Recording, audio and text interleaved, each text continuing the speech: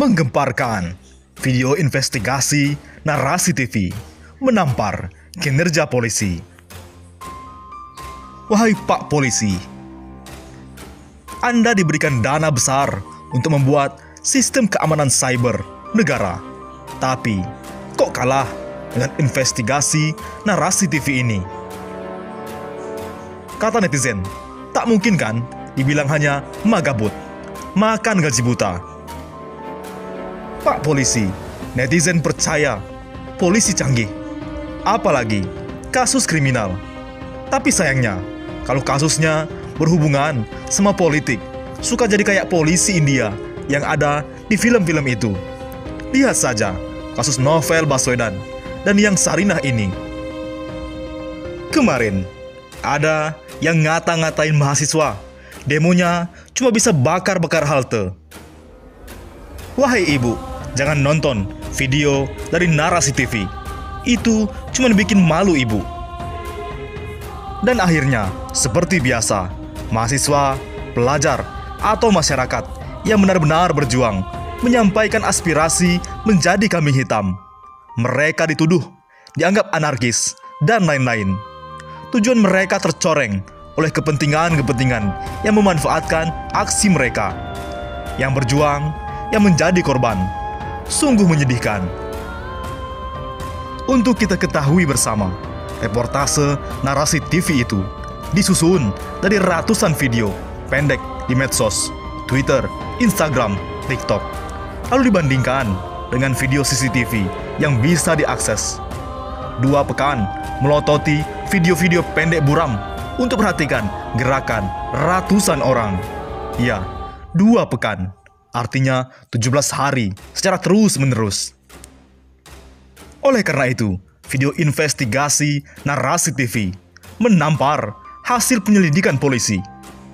Menanggapi hasil investigasi narasi TV yang viral di media sosial, Direktur Direktorat Reserse Kriminal Umum Polda Metro Jaya, Kombes Pol Tubagus Ade Hidayat mengatakan, video tersebut akan jadi bahan penyelidikan.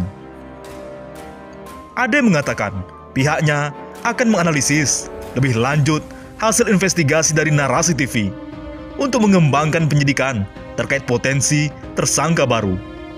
Ia menyatakan, sejauh ini Polda Metro Jaya sudah menetapkan beberapa tersangka terkait pembakaran halte tersebut.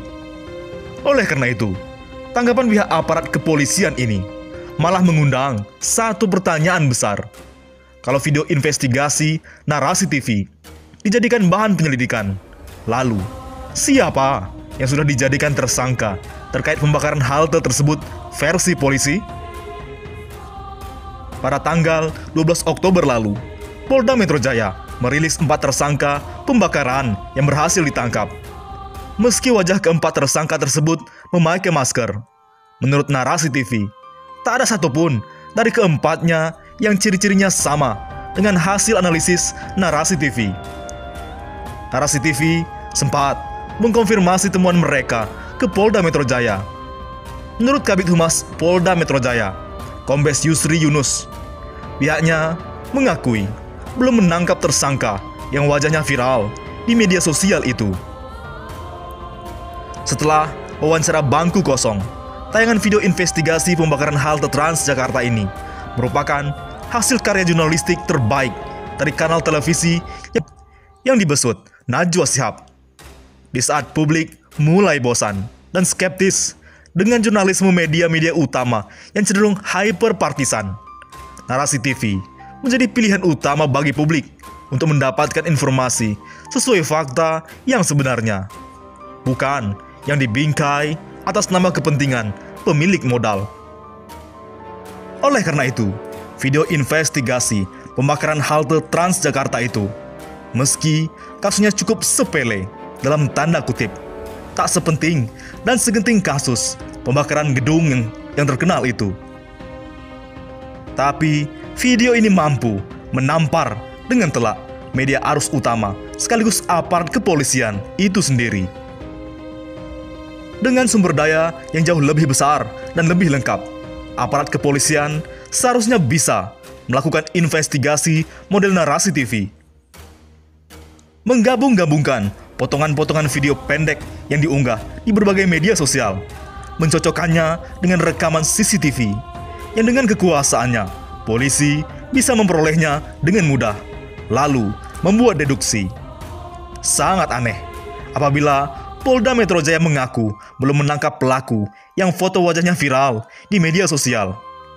Lebih aneh lagi, Polda Metro Jaya malah menjadikan video investigasi narasi TV sebagai bahan penyelidikan mereka. Apa yang sudah dilakukan tim buka mata narasi TV patut kita apresiasi. Sedikit sekali media yang mampu melakukan jurnalisme investigasi. Apalagi media independen seperti narasi TV. Sudah cukup lama pers Indonesia mendapat sorotan tajam. Kemerdekaan, netralitas, dan independensi pers Indonesia sudah hilang. Narasi-narasi sumbang yang hyper partisan kini menghiasi judul dan isi berita. Pers Indonesia seolah terbelenggu pada kekuasaan semata. Bukan karena mereka dibungkam, tapi karena banyak jurnalis dan media Indonesia sudah menjual diri. Kata pendiri harian Umum Kompas, BK Ojong, pernah berkata, secara intuitif, setiap orang merasakan bahwa tugas utama pers adalah mengontrol dan kalau perlu mengecam pemerintah. Wartawan jangan sekali-sekali meminta dan menerima fasilitas dari pejabat. Sekali hal itu terjadi, ia tidak bebas tidak bebas lagi menghadapi pejabat itu dalam profesinya. Tugas pers bukanlah untuk menjilat penguasa, tapi untuk mengkritik yang sedang berkuasa. Sebelumnya, melalui video pendek berjudul 62 menit operasi pembakaran halte Sarinah, narasi TV menghentak publik jagat maya. Dalam video pendek yang ditayangkan perdana pada tanggal 28 Oktober 2020, tim buka mata narasi TV membongkar terduga pelaku pembakaran halte Transjakarta Sarinah saat ribuan mahasiswa dan buruh berdemonstrasi menolak Omnibus Law 8 Oktober 2020 lalu. Menurut analis tim buka mata narasi TV, para pelaku memang datang untuk membakar halte Transjakarta dan memperburuk situasi aksi demonstrasi penolakan Undang-Undang Cipta Kerja. Pelaku mula-mula datang dari arah Jalan Sunda secara berkelompok saat aksi mulai panas di perempatan Sarinah. Mereka sempat berfoto-foto dan melakukan pengamatan. Secara terencana, para pelaku kemudian berpencar untuk membakar halte Transjakarta. Saat mahasiswa terlibat bentrokan dengan polisi di perempatan Sarinah, para pelaku sibuk melakukan pengerusakan halte. Mereka lantas memanfaatkan momen itu untuk melakukan pengerusakan lebih masif dengan sengaja menyulut api di dalam halte. Hanya butuh waktu satu jam saja bagi para pelaku untuk menyulut api dan membuat bara di jalan MH Tamrin. Dan para pelaku bukan bagian dari mahasiswa atau buruh yang menjadi motor penggerak aksi demonstrasi penolakan Undang-Undang Cipta Kerja yang baru disetujui DPR dan pemerintah dalam rapat paripurna pada 5 Oktober 2020 lalu. Di lain sisi, masih ada saja pertentangan. Yang lucu adalah Dewi Tanjung, pertanyaan hasil investigasi narasi TV milik Mata Najwa. Politisi Partai Demokrasi Indonesia Perjuangan, Dewi Tanjung mengaku penasaran dengan hasil investigasi narasi TV milik Najwa Sihab Pasalnya, hasil investigasi itu membongkar dalam pembakaran halte Transjakarta saat unjuk rasa demo Undang-Undang Omnibus Law. Nyai penasaran sama hasil investigasi narasi TV milik Najwa Sihab. Kok mereka tahu kalau pelaku pembakaran halte Transjakarta datang dari arah Jalan Sunda? Lalu pelaku foto-foto dulu.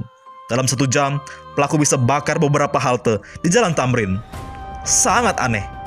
Kok bisa sejauh ini Najwa tahu tulis Dewi Tanjung di akun Twitternya. Wahai Ibu Dewi Tanjung, makanya nonton dan perhatikan baik-baik.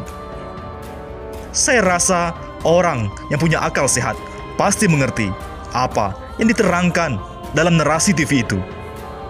Keheranan Dewi Tanjung karena intelijen saja belum mengeluarkan pernyataan terkait pelaku pembakaran halte Transjakarta.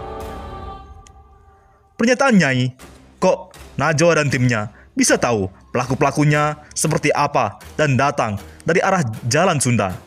Sedangkan intelijen saja belum mengeluarkan pernyataan siapa pelaku pembakaran halte Transjakarta. CCTV di beberapa jalan di Jakarta banyak yang tidak aktif, ungkapnya. Begini ya Bu, reportasi itu disusun dari ratusan video pendek di media sosial, Twitter, Instagram, dan TikTok.